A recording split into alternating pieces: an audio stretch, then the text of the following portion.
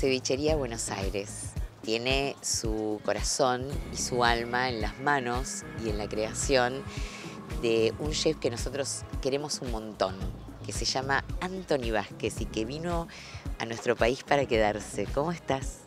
Muy bien, Graciela, muchas gracias eh, por venir. Eh, sí, bueno, hace, hace dos años pusimos la mar y en verdad nos ha ido muy bien. Eh, nos, la gente nos ha recibido con muchísimo cariño y desde el comienzo este restaurante ha tenido muchísimo éxito, ¿no? Estamos en un punto soñado. Esta esquina es como monumental y la estética que le dieron es maravillosa. Sí, sí, está. Todos los lamares del mundo eh, de, alguna, de alguna forma tratan de adaptarse en el terreno en donde están, ¿no? Eh, tenemos muchos lamares. Lamar es una de las marcas de Gastón que más ha crecido y de alguna forma la mar de Buenos Aires tenía que ambientarse en una, forma muy, muy, eh, muy argentina, pero también que se sienta cevichería, ¿no? Y esto es un buen mestizaje, ¿no? Una buena mistura de la ambientación de eso, ¿no? Es, la música es el ambiente salsero de una cevichería, las sillas, este, los individuales, las mesas son muy de cevichería, pero en un espectacular eh, típico este, edificio de Buenos Aires, ¿no? Maravilloso. Gastón Acurio me imagino que cuando vino aquí a la Argentina y buscó un espacio para poner otra de sus alternativas, porque ustedes saben del otro lado que es una eminencia mundial, es el que llevó la cocina peruana a lo más alto. Eh, me imagino que cuando vio esta edificación y, todo lo que esto encerraba, se enamoró. Sí, sí, Gastón desde el comienzo, desde el comienzo, desde este, esto estaba en obra todavía, donde no había piso, no había nada sintió que este era un, lugar especial. Primero que en Palermo no hay una palmera como esta, no hay palmeras. Y eso era el comienzo, ¿no? El comienzo era, era adaptarse, que la mar se adapte acá, pero sin que sea agresivo, ¿no? Sin que choque con, con el ambiente. Y, es, una, es un muy buen sitio, es casi una embajada, ¿no? De, de, de Perú, pero muy, muy argentina, ¿no?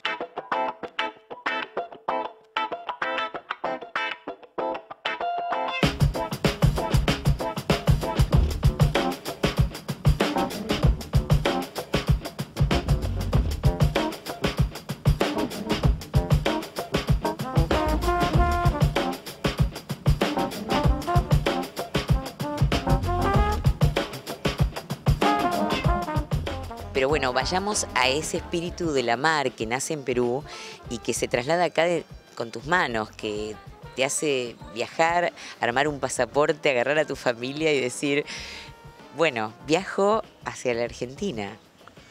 Sí, bueno, esto comenzó hace más o menos tres años, eh, cuando, cuando Gastón comenzó a sentir que podía hacer realidad una cevichería en Buenos Aires y, yo al comienzo no entendía mucho, ¿no? Yo no estaba muy convencido realmente, ¿no? Y, Gastón eh, muy rápidamente me, mandó acá a Buenos Aires a conocer Buenos Aires y a ir a los mercados de pescado, ¿no? Y ahí es donde me di cuenta que hay muchas cosas que, usualmente la gente no aprovecha, ¿no?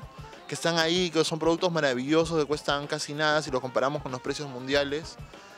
Y sentimos que ahí había una oportunidad, ¿no? Había un diamante en bruto, algo para, para por qué apostar, ¿no? Hay algo que, que falta hacer todavía hoy en día lo que hacemos es, es, este, es 100% producto nacional.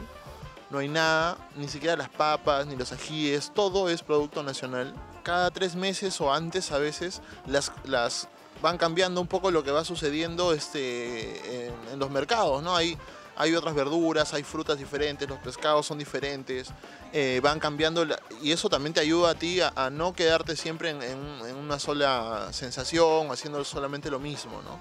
Y te ayuda siempre a, cambiar, a hacer, y eso es lo que es una cevichería, es siempre, la cevichería es un poco un poco un restaurante que trabaja con el producto del día, con lo que va apareciendo del mar, ¿no? con, lo que hay en el mercado, ¿no? porque de eso se abastece. Yo creo que Gastón con toda su impronta logró que lo callejero, entre comillas, se transforme en glamoroso en, un toque personal, eh, de elegancia, pero sin perder esa esencia de lo eh, autóctono y de lo fresco que te permite un lugar como este. Me encanta la vidriera de los pescados, porque ahí vos estás presentando la materia prima con lo que se va a hacer los platos que las personas elijan. Sí, eh, básicamente esa, esa, esa vitrina, digamos, está ahí para que la gente cuando venga de pronto diga, bueno, yo quiero, he venido con mis amigos y, y- y quiero comerme ese pescado que está ahí. Eh, la mitad lo quiero de, de forma, de un forma un ceviche y la otra mitad lo quiero a la brasa o lo quiero como quieras, ¿no? Y, y está para eso, básicamente. Entonces la gente va, se acerca y un poco interactúa y, y escoge. hace el adentro. Y sí. Pero para eso es la mar, ¿no? La mar, la gente tiene que venir acá y sentirse cómoda, ¿no? Y sentir que esto le pertenece, porque este es un lugar de pertenencia.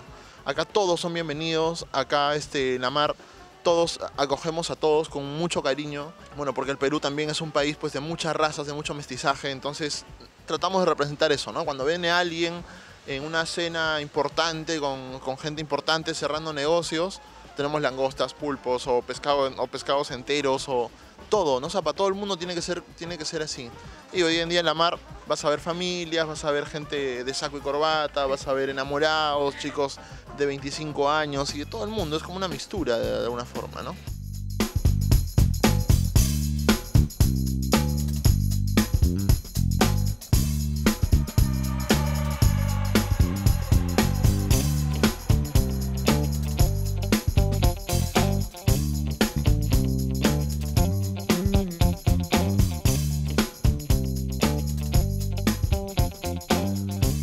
Eh, me gustaría que cuentes un poquitito los platos que hoy vamos a presentar acá para tentar a los que están del otro lado. Y por supuesto, vamos a hacer un tiradito, un tiradito trío. Tiene con la pesca del día, vamos a hacer una mayonesa de vieiras muy, muy sabrosa. Que una, va a tener este, una al natural, otra con ají amarillo, otra con rocoto. Eh, después vamos a hacer un ceviche, un ceviche lujurioso. Lujurioso porque después de eso van a pasar cosas especiales. Es- Y son nombres geniales, geniales. Eso y vamos a hacer una causita con un pescadito frito que le decimos Punta Callao. En el, el Callao es un distrito eh, de pescadores y, este, y la Punta es, una, es, una, es un sitio muy histórico para Lima y para la gastronomía peruana. ¿no? Entonces vamos a hacer esos tres platos como para representar el Perú, pero, pero para que sean eso, ¿no? Acompañados de eh, tragos increíbles que Igor, realmente charlando con él un ratito fuera de cámara, me pareció fantástico, con una humildad total, pero con una creatividad y una técnica para hacer esos tragos maravillosa.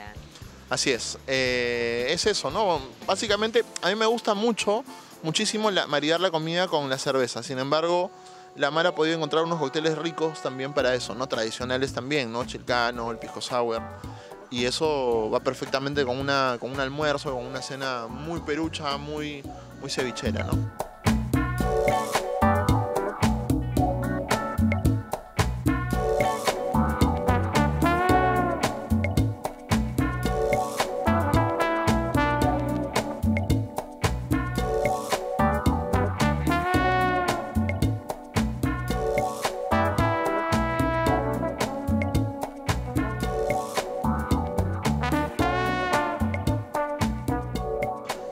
Nosotros abrimos todos los días, menos los, los- los lunes al, al almuerzo, eh, desde las 12 y media hasta las 5 de la tarde y en la noche desde las 8 hasta las 12.